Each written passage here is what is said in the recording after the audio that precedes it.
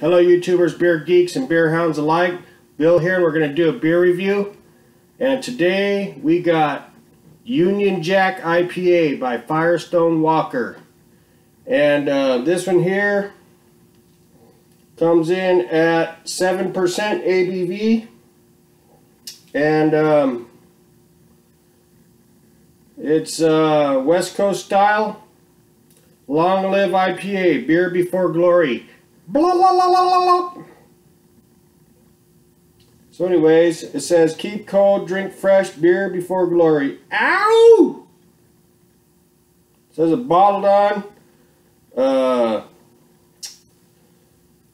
uh, B20802219. So I'm thinking that would be August 2nd, 2019.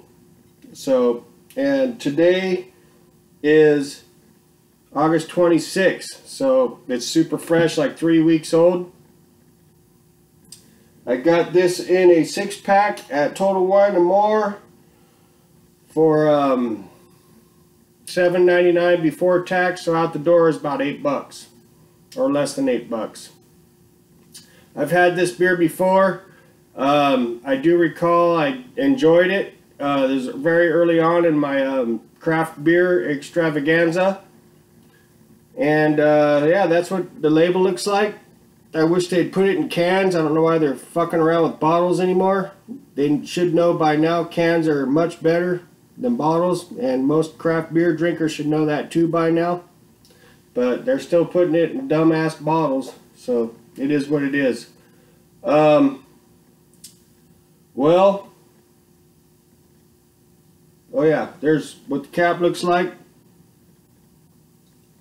I do recall it was a tasty beer, but it's been a long time since, since I had it and I've never reviewed it, so let's get it crack open and see what we got here, ladies and genitalia. Firestone Walker makes pretty awesome beers, so I'm looking forward to uh, reuniting with this puppy right here. Let's get it in the glass and see what we got cracking here. I can smell hops already. This is probably like the freshest I've ever had it. Uh, I could imagine what it would be like uh, in a can. You can see I'm kind of hostile towards bottles, of course. Who wouldn't be? I mean, it doesn't preserve the beer. There goes air conditioner. It's like 120 degrees in California today. Uh, We've got a nice creamy frothy head. Crystal clear amber color. Absolutely gorgeous looking beer. Looks real good. Got some bubbles streaming up from the bottom. Looks absolutely fantabulous. You can see the clarity. This is one sexy looking beer. Look at that. That's spot on. That is spot on, Jack. Union Jack. Would you look at that? It don't get much prettier than that. Spot on, perfect amber color. Head's turning rocky. That's a gorgeous beer.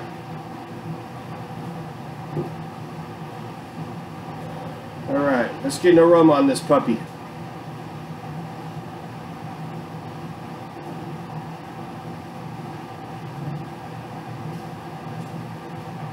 Okay, right up front, I'm getting mainly like uh, earthy type hops and a slight touch of some piney hops.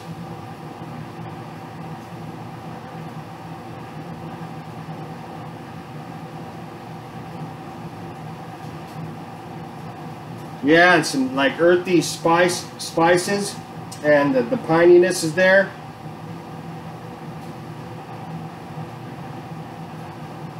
And maybe just a slight touch of some kind of a guava type hop note. That's what I got. Heads turned rocky. Cheers, let's get a rip.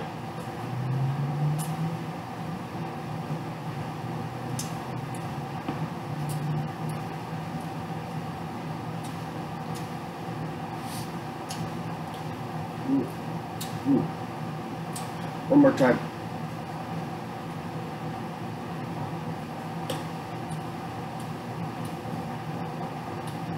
Okay. All right. Wow. That's much. That's much better than I remembered it. It's probably because it's like three weeks old, but that's really freaking tasty. It's leaving a nice lacing on the glass. Got excellent head retention.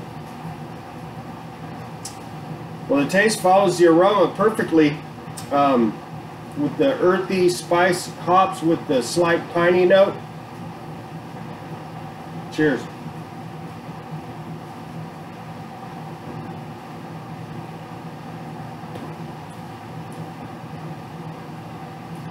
Ooh, damn. It's got a medium mouthfeel, real crisp, clean tasting. Um, it's got a very slight kind of onion, kind of garlic note in there, very slight. But then there's that kind of pininess coming through those earthy spice hops. I'm even picking up a very slight kind of, just a little bit of floralness coming through there.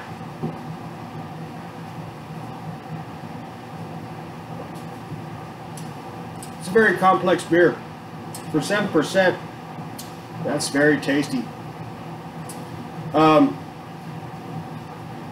this beer is pretty close to the definition of West Coast style IPA in my opinion. It's kind of got the two main variables or the three main variables which would be like uh, earthy spice hops and some piney hops and then some of the some of the floralness coming through. That's like in my opinion kind of like what a West Coast style IPA is supposed to taste like and smell like. Oh yeah. That was tasty burp right there. Cheers.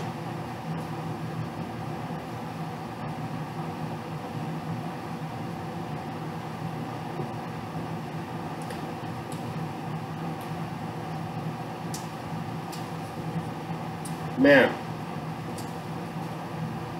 Yes. Yes. Triple yes. They could call it onion jack, and I would understand why.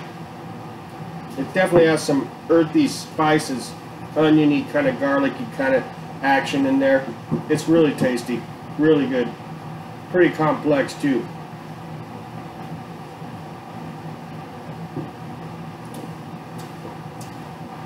That's really good. Well, that's what I got. I don't think it gets much prettier than this one, that's for sure. I mean, that is spot on amber, clear. That's that's what it's supposed to look like, ladies and genitalia, right there. That's what that West Coast style IPA is supposed to look like. Taste, really awesome. Well, on a scale of one to five stars, I'm going to have to give this one a 4.4 out of 5.